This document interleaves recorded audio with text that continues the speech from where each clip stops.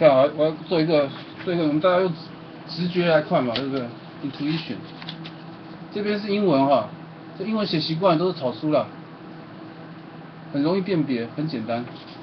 这是中文啊，所谓的书法，你看超多笔画的。你看，我们就一个人类来讲，哪一种文字要好？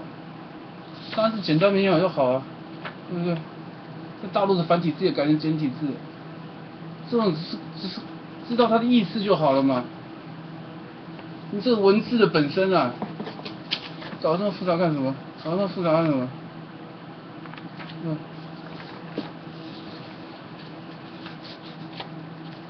就一个人类来讲，当时这种文字比较好嘛。那文字一看也不好，是不是？